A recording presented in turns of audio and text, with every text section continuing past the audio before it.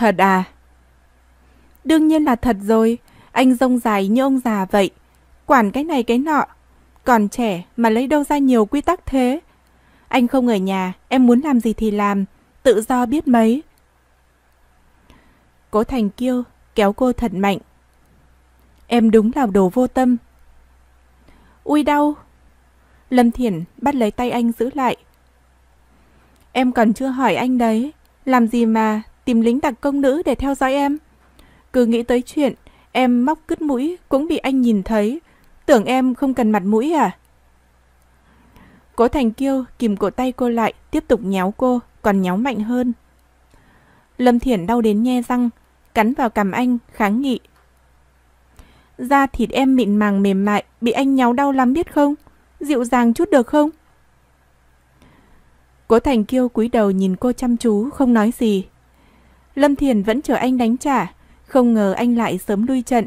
Cô nói khẽ. Em đùa với anh mà, sao vậy? Anh biết, Thiền Thiền, lần này anh thật sự phải rời khỏi đây một thời gian, không thể ăn Tết cùng em rồi. Chẳng hiểu sao, lòng thương cảm đột nhiên dâng lên như thủy triều, cuốn sạch hết tâm tư dạo dực của cô. Thật à? Ừ. Lâm Thiển bỗng ôm chặt lấy anh khó chịu trong lòng. Bầu không khí yên tĩnh gần như động lại. Dù trong bóng tối, cố Thành Kiêu cũng có thể tưởng tượng ra được dáng vẻ bĩu môi khóc thút thít của cô. Anh ôm cô, nhẹ giọng thì thầm an ủi. Em hãy ngoan ngoãn ở nhà, tu thân dưỡng tính chờ anh về. Ba mẹ anh sẽ không phản đối hôn sự của chúng ta nữa, nhưng muốn bọn họ thật lòng chấp nhận, có lẽ phải cần chút thời gian. Em phải hiểu chuyện một chút. Đón giao thừa cùng bọn họ, năm mới qua chúc Tết bọn họ, làm tốt những việc con cháu nên làm thì bọn họ sẽ rất vui. Coi như em làm thay anh, được không? Dạ được, tất cả đều nghe theo anh hết. Nếu mẹ anh làm khó dễ em, có thể nhịn thì nên nhịn. Bà chỉ nói cho sướng miệng thôi. Nói đã nghiền rồi thì xong hết. Còn nếu không thể nhịn... Em nhịn. Lâm Thiển bảo đảm.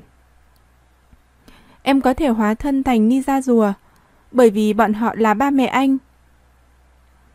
Tốt, ngoan. Cố Thành Kiêu hôn lên tóc cô. Bầu trời ngoài cửa sổ dần sáng lên, mặt trời sắp mọc. Sau cơn bão tuyết, không khí trở nên trong lành và im ắng. Có thể mơ hồ nghe được cả tiếng còi hơi nơi xa. Trời sắp sáng rồi, ngủ đi. Lâm Thiển vùi đầu vào hõm cổ anh, gác chân lên hông anh. Chờ em ngủ, rồi anh mới được đi, được không? Được. Một lời đã định, vậy bây giờ em chơi game. Có thể kiên trì ba ngày ba đêm không ngủ. Nói rồi cô hơi ngẩng đầu lên, làm bộ như muốn xuống giường. Cố Thành Kiêu bó tay cười, ngang ngược kéo cô lại để đầu cô xuống. Đại tiểu thư của anh, em ngoan ngoãn ngủ đi. Cái gì mà đại tiểu thư? Em rõ ràng là công chúa nhỏ. Được, công chúa nhỏ của anh, mau ngủ đi. Không được bảo người theo dõi em. Được, cái gì cũng đồng ý với em hết. Hát du cho em ngủ đi. Cố Thành Kiêu cự tuyệt. Quất em hai roi được không? Được được, đến đây đến đây, không quất thì anh là chó con. Cố Thành Kiêu hoàn toàn chịu thua cô, vừa buồn cười vừa tức giận nói. Gâu gâu. Lâm Thiển phụt cười, hóa ra thủ trưởng cố cao ngạo lạnh lùng này lại là người ngoài đạo mạo, trong lẳng lơ, ha ha. Trời dần sáng lên, mặt trời nhô lên từ đằng đông, ánh bình minh tỏa sáng khắp nơi, nhuộm đỏ hơn nửa bầu trời. Sau cơn tuyết rơi, bầu trời trong xanh vô cùng, còn có chút kỳ ảo. Lâm Thiển không biết Cố Thành Kiêu đã đi từ lúc nào, chỉ có chăn ấm mới có thể lấp đầy cảm giác mất mát trong lòng cô. Cô hoảng hốt khi cảm thấy mình đã bắt đầu nhớ Cố Thành Kiêu. Rời khỏi giường ra ban công hóng gió, nhìn mảng tuyết trắng xóa mênh mông, trong lòng Lâm Thiển bình yên đến kỳ lạ. Tất cả sự sốc nổi và bất an đều từ từ lắng xuống. Dưới lầu, đám người giúp việc đang dọn tuyết trong sân nhà. Đêm qua, tuyết rơi rất nhiều, có chỗ tích tụ cao hơn cả nửa mét. người dẫm lên trên, gần như không thể cất bước đi tiếp. Đám người giúp việc quét tuyết bên ngoài, sân nhà lớn bị chia thành hai bên. Thiếu phu nhân, cô dậy rồi. Tiểu Linh vẫy tay gọi cô. Có muốn ăn chút gì không? Lâm Thiển. Không cần đâu, chờ ăn cơm trưa luôn cũng được. Sao cô không gọi tôi dậy? Tiểu Linh nói.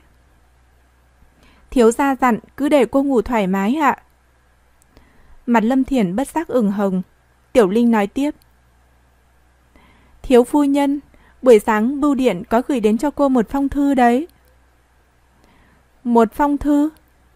Lâm Thiển khựng lại hai giây. Chẳng lẽ là phiếu điểm thi cuối kỳ? Tôi xuống ngay. Cô vội vàng đóng sập cửa sổ lại, lo lắng chạy xuống nhà. Phong thư được đặt trên bàn trà cùng với rất nhiều tạp chí, cô vội cầm lên xé ra. Thế nhưng lại không dám mở ra xem. Cô đấu tranh tư tưởng rất lâu híp mắt, mím môi, sau đó mới len lén mở ra. Móa, sao lại thế này? Có mấy phẩy cũng không cho. Cô tức giận đến mức đập phiếu điểm xuống bàn trà. Ba môn học không đạt, đều chỉ thiếu có 3-4 phẩy. Thật ra nói tới học lực thì lần thi cuối kỳ này cô đã tiến bộ nhiều rồi. Chỉ ít không đỏ lè hết như lúc trước. Nhưng sự tiếc nuối xem chút đã đạt thật biết tra tấn người mà. Đúng lúc này Lâm Du gọi điện tới. Nhận được phiếu điểm chưa Tiểu Thiền?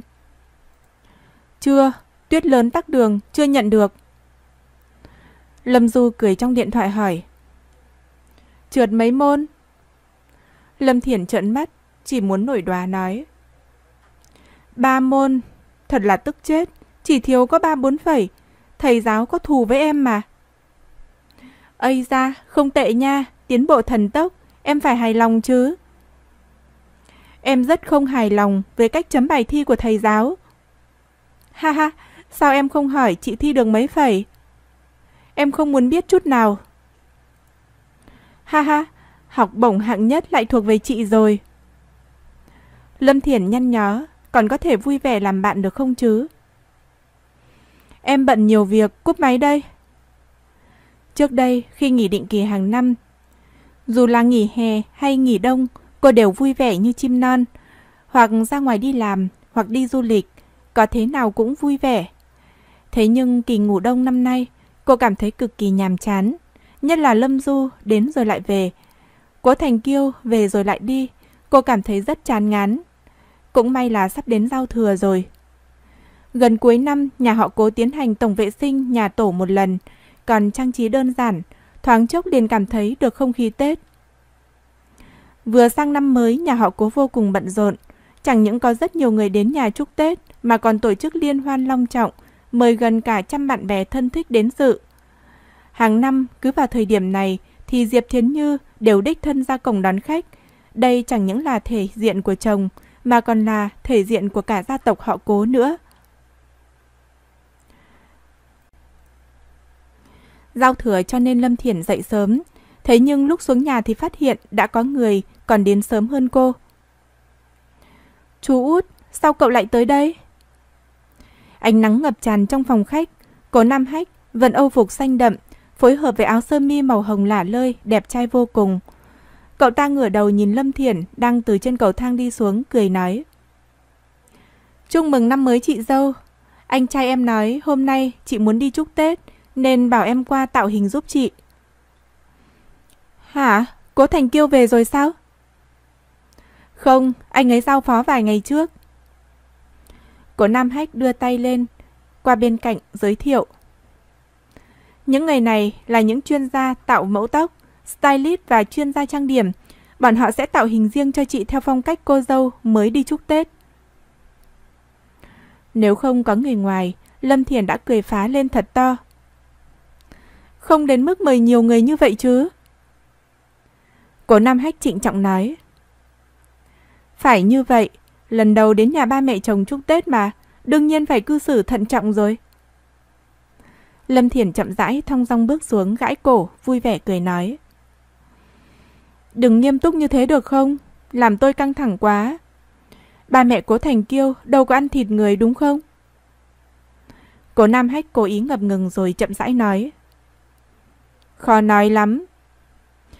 Xét theo cảnh tượng giao chiến với ba mẹ chồng mấy lần trước, Lâm Thiền không hề hoài nghi cố Nam Hách chút nào. Đêm nay cô còn phải đón giao thừa với hai ông bà, vậy chắc chắn phải ở lại nhà họ cố một đêm. Nghĩ thôi cũng thấy kinh khủng rồi.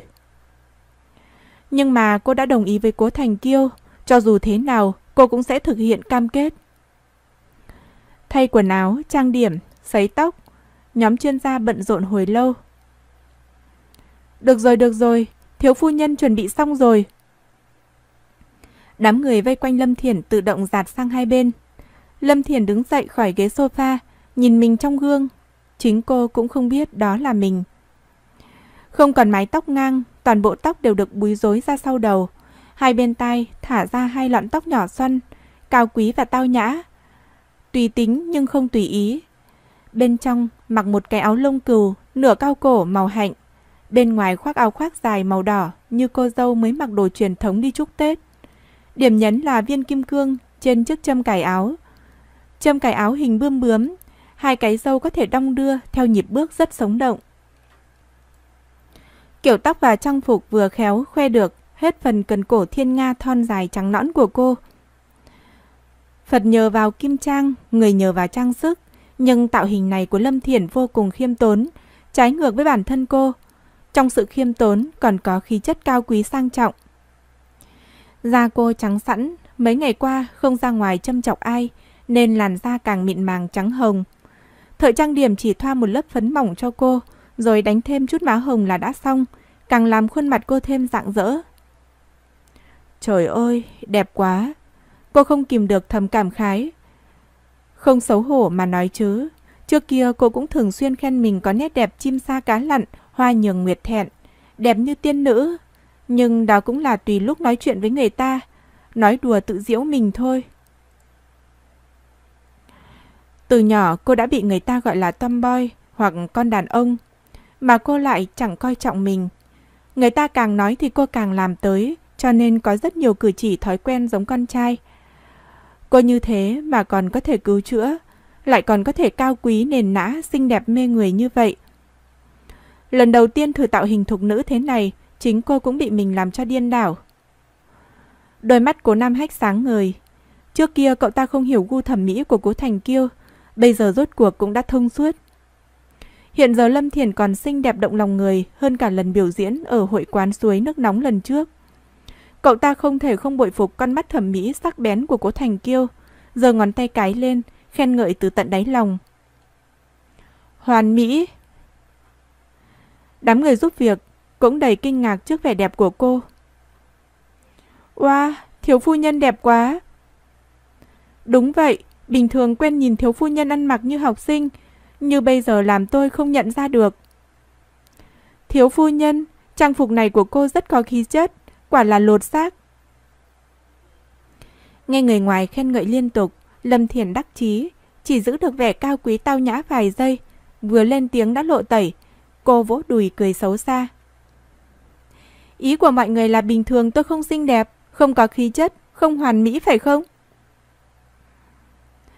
Ha ha, nhìn mọi người đần mặt ra kìa. Tôi nói đùa với mọi người thôi mà. Cô Năm Hách thở dài nhắc nhở. Chị dâu à, hay là chị đừng nói chuyện thì hơn? Lâm Thiển ngây thơ hỏi. Giả câm là có thể qua ải hả? Cố Nam Hách đành phải lắc đầu. Không phải thế. Gần đến giờ, Lâm Thiển chuẩn bị xuất phát đến nhà tổ của nhà họ Cố. Mọi người ở thành đề nửa vui nửa buồn. Ngay cả Trương Khai và Tiểu Linh đi theo sau cũng nâm nớp lo sợ. Thiếu phu nhân, cô đã nhớ rõ quà cho lão phu nhân rồi chứ? Dây chuyền phỉ thúy là cho lão phu nhân, đông trùng hạ thảo là cho lão gia, mỹ phẩm là cho phu nhân. Còn nữa, lão gia không thích bị cắt ngang khi đang nói chuyện, cô ngàn vạn lần hãy nhớ kỹ. Tiểu Linh nói huyên thuyên suốt đoạn đường, thoáng chốc đã đến nhà tổ của nhà họ cố. Cuối năm có rất nhiều người về quê ăn Tết, giao thông ở thành phố B hiếm khi thông thoáng như lúc này, cho nên lái xe rất nhanh. Không phải chỉ là ăn Tết thôi sao? Sao lại giống như lên đoạn đầu đài vậy? Cô nghĩ... Nhà tổ của nhà họ cố tọa lạc ở chân núi Hương Sơn. Sau đợt tuyết rơi, Hương Sơn cực kỳ đẹp đẽ. Ánh nắng chiếu xuống, nhìn xa xa, cả ngọn núi dường như phát sáng. Loại cảm giác yên tĩnh này làm người ta không thể không cảm thán, thiên nhiên thật điêu luyện sắc sảo. Xe con từ từ lái vào cổng lớn nhà họ cố. Câu đối xuân trên cửa, thảm đỏ dưới đất và đèn lồng đỏ dọc đường đều mang đậm không khí Tết. Nhìn không ra, nhà họ cố vẫn rất truyền thống. Đúng vậy, nhà tổ bên này rất coi trọng lễ Tết. Không giống như thành đề, thiếu gia chẳng xem trọng gì cả. Lâm Thiền đứng thẳng lưng, tâm trạng càng căng thẳng hơn. Chẳng trách cố Thành Kiêu bảo cô đón giao thừa cùng hai ông bà. Chẳng phải hai ông bà chỉ muốn đoàn viên thôi sao? Xe vừa dừng trước cổng biệt thự thì đã có người ra mở cổng. Chào thiếu phu nhân, xuống cẩn thận. Lão phu nhân nói huyên thuyên về cô từ sáng tới giờ. Lâm Thiền từ từ xuống xe, dặn dò đâu ra đấy. Trong cốp sau có chút lễ mọn, mang vào giúp tôi nhé. Cô bước trên thảm đỏ, đám người giúp việc đi theo sau. Trong lòng Lâm Thiền bất giác dấy lên dáng điệu chủ nhân. Trong nhà, ba vị trưởng bối đã ngồi chờ từ sớm. Xuyên qua cửa sổ sát đất, Diệp Thiến Như cứ soi mói Lâm Thiển. Nhìn kìa, nhìn kìa, giả bộ giống ghê. Lùn thì đừng mặc váy dài. May mà biết trước nói đến chúc Tết, chứ không còn tưởng nó đến đòi nợ. Lão phu nhân chừng bà khiển trách. Chẳng có cái gì lọt nổi mắt xanh của cô cả. Cụ bà tôi đây cũng thế. Tôi thấy hay là tôi nên về lại ổ chó của mình. Sau này ăn Tết, cô cậu đừng đón tôi tới đây nữa. Tôi muốn yên tĩnh một mình, hoặc là bảo Lâm Thiển qua với tôi. Mặt Diệp Thiến Như như màu đất, hung dữ nháy mắt với chồng. Cố Nguyên gấp báo lại, ngồi ngay ngắn. Mọi người đều tới rồi, bà nói ít vài câu đi. Diệp Thiến Như... Mẹ ông vừa đến là tôi chẳng còn địa vị gì cả. Lâm Thiển đoan chính vào nhà, kính trà tặng quà cho ba vị trưởng bối theo thứ tự. Các trưởng bối cũng theo lệ lì xì cho cô. Việc này đại biểu rằng nhà họ cố đã chính thức chấp nhận cô dâu mới này. Bà nội là người vui nhất, bà vốn thích Lâm Thiển. Sau khi xong nghi thức, bà liền kéo Lâm Thiển đến bên cạnh. Lại đây, lại đây. Hôm nay cháu đẹp lắm Tiểu Thiển à. Rất có phong thái của bà nội năm đó. Lâm Thiển quỳ trên ghế sofa, khéo léo đấm lưng cho bà nội nói. Bà nội, sau khi bà đến lần trước, lúc nào cháu cũng nhớ bà. Diệp Thiến Như đen mặt lại. Con bé này dẻo miệng ghê. Bé con, sức khỏe của cháu vẫn tốt đây chứ? Tốt lắm ạ, có thể đánh chết một con trâu luôn. Thanh niên đúng là sướng thật, không giống chúng ta. Cháu nhìn ba cháu kìa, bị chật chân thôi cũng phải tĩnh dưỡng mấy tháng. Cố Nguyên nhịn được nhưng Diệp Thiến Như thì không. Nói bà thì thôi, nói chồng bà thì không được. Bà mang theo đầy mùi thuốc súng làm rõ. Mẹ, Cố Nguyên không phải bị chật chân bình thường đâu. Xương ông ấy còn bị nứt nhẹ và giòn nữa. Tổn thương gân cốt cần 100 ngày để hồi phục.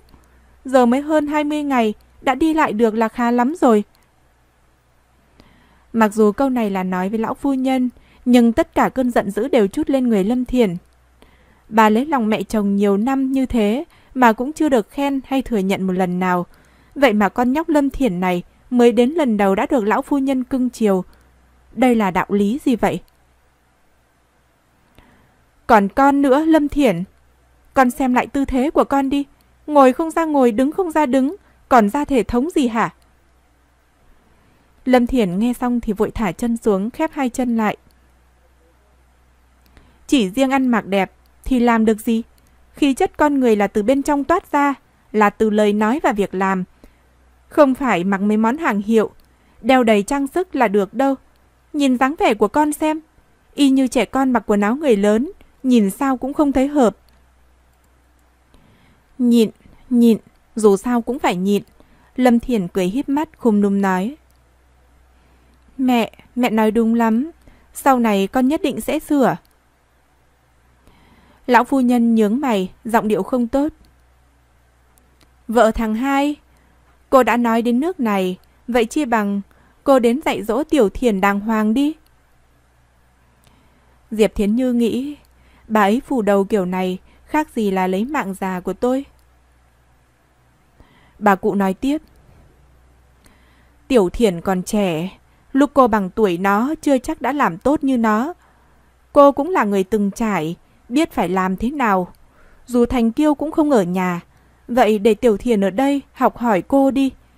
Cô hãy dùng kinh nghiệm và bản lĩnh của mình để bồi dưỡng nên một thiếu phu nhân đa tài đa nghệ, có khí chất cho nhà họ cố đi.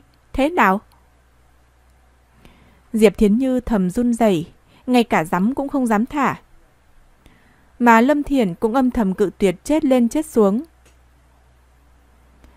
Bà nội à, chuyện này, chuyện này... Không ở chung còn dễ nói, nếu ở cùng một nhà, nghĩ thôi cũng đã muốn bỏ trốn rồi. Sao hả? Không muốn à? Bà nội nhìn qua, lại nhìn hai người, sau đó hớn hở vỗ vỗ mu bàn tay Lâm Thiền bảo. Thật hiếm khi mẹ chồng nàng dâu có cùng ý kiến với nhau.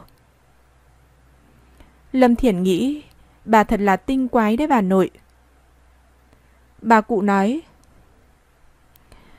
Năm nay là năm đầu tiên Tiểu Thiển về nhà họ cố ăn Tết. Thành Kiêu không có mặt ở đây. Con bé mới đến, có gì không biết thì mẹ chồng như cô, hãy chỉ bảo cho cẩn thận. Lát chiều, đám thằng cả và thằng ba sẽ qua đây. Nếu cô không ngại, bị hai chị em dâu của mình chê cười, thì cứ ồn ào tiếp đi. Từ lúc ba cháu trai của tôi ra đời, nhà họ cố chúng ta chưa có thêm thành viên mới. Năm nay có người mới, không phải nên vui sao? Giọng bà cụ như chuông lớn, chỉ nói mấy câu đã đè bẹp sự kiêu ngạo của Diệp Thiến Như. Từ nhỏ Lâm Thiền đã biết nhìn mặt mà nói chuyện. Thấy bầu không khí lúc này lung túng, cô vội chủ động nói. Mẹ, con sẽ chú ý từng lời nói hành động của mình. Con có chỗ nào sai, mong mẹ chỉ bảo nhiều hơn. Diệp Thiến Như hít một hơi thật sâu rồi từ từ thở nhẹ ra, mắng thầm trong bụng. Tuổi còn nhỏ mà tâm cơ như thế, chẳng những chia rẽ quan hệ mẹ con giữa mình và Thành Kiêu, nó còn chia rẽ cả quan hệ mẹ chồng nàng dâu giữa mình và bà cụ. Cô chờ đi, cuối cùng rồi cũng có ngày tôi đuổi cô ra khỏi nhà. Được rồi, tất cả nói ít vài câu đi. Cuối cùng cố Nguyên cũng lên tiếng. Mẹ, Thiến Như đã bận rộn mấy ngày vì bữa cơm tất niên này và liên hoan năm sau. Hễ là việc của nhà họ cố thì bà ấy đều lấy làm trọng. Nói Lâm Thiển vài câu cũng chẳng có gì, bà ấy nhanh mồm thế thôi. Lâm Thiển Vâng vâng vâng, con biết mẹ miệng cứng nhưng lòng mềm. Bà nội à, bà đừng nói nữa được không? Cháu là phận con cháu, mẹ trách móc cháu là vinh hạnh của cháu ạ. Bà cụ hừ lạnh. Hừ, ai biết nó vô tình hay cố ý? Những lời lẽ có gai đó chỉ có cháu mới có thể nhịn được thôi. Lâm Thiển giờ khóc giờ cười. Ôi bà nội ơi, bà đang thêm dầu vào lửa, chỉ làm trở ngại thêm thôi chứ chẳng giúp được gì cả. Được rồi, được rồi. Bà lớn tuổi nhất, xấu miệng nhất, bà ngậm miệng đây. Tiểu Thiền, đi xem tivi với bà. Gần đây có bộ phim thanh xuân vườn trường rất hot. Bà nội cảm thấy tâm hồn thiếu nữ như ùa về. Nhịp điệu của lão phu nhân quá lạ lùng, Lâm Thiền chỉ biết cười gượng. Vâng, ha ha. Diệp Thiến Như uất ức đến suýt khóc. Bà lao tâm lao lực vì nhà họ cố mà chẳng được khen câu nào. Ngược lại còn vì nói Lâm Thiền vài câu mà bị lão phu nhân chỉ vào mũi mắng chửi. Quả thật bà khó mà nuốt xuống được cuộc tức này. Sắp ăn cơm rồi, buổi trưa ăn đơn giản tí, tôi vào bếp xem thử. Bà lấy cớ trốn vào bếp, liếm vết thương. Cố Nguyên nhìn theo vợ thở dài, cuối cùng không lên tiếng. Sau khi ăn trưa xong, mọi người về phòng ngủ trưa. Tiểu Linh dẫn Lâm Thiển xuống phòng của cố Thành Kiêu. Thiếu phu nhân, đây là phòng của thiếu gia. Cô vào trong nghỉ ngơi đi. Ừ. Phong cách trang trí của căn phòng này rất giống ở thành đề, đơn giản đến không thể đơn giản hơn. Nhìn ra gian phòng đã được quét dọn, sáng sủa sạch sẽ, không một hạt bụi. Trên đầu giường có treo một bức ảnh lớn, là ảnh chụp cố Thành Kiêu mặc quân phục, cung kính chào theo nghi thức quân đội. Gương mặt đó đẹp trai đến mức làm người ta không nỡ rời mắt. Ngoài bức ảnh lớn đó, trong phòng còn có rất nhiều những bức ảnh nhỏ khác. Miễn là có chỗ để thì gần như đều trưng bày ảnh chụp của cố Thành Kiêu. Trên tủ đầu giường có đặt một quyển album ảnh rất dày. Lâm Thiền đi qua xem thử, toàn bộ đều là ảnh chụp của cố Thành Kiêu từ nhỏ đến lớn. Ai lại ngốc nghếch để ảnh cởi chuồng mặc yếm của mình trên tủ đầu giường chứ? Lúc này Lâm Thiền liền bật cười. Nhưng ngẫm lại thì cô nhận ra, cố Thành Kiêu không giống như người sẽ làm vậy. Những cái này chắc chắn là mẹ chồng để. Không hiểu sao đột nhiên Lâm Thiền lại cảm thấy xót xa. Cố Thành Kiêu là một người lính, có nhiệm vụ thì phải đi làm, chẳng biết ngày về. Mà dù có về thì anh cũng về trụ sở của mình, rất hiếm khi về đây một chuyến. Có thể cả mấy năm ba mẹ chồng mới được gặp mặt con trai một lần. Với tình hình này, nhất định bọn họ rất nhớ mong anh. Nghĩ đến đây tự nhiên Lâm Thiển không còn giận mẹ chồng nữa, mà cảm thấy tội lỗi vì mình đã từng nói xấu bà.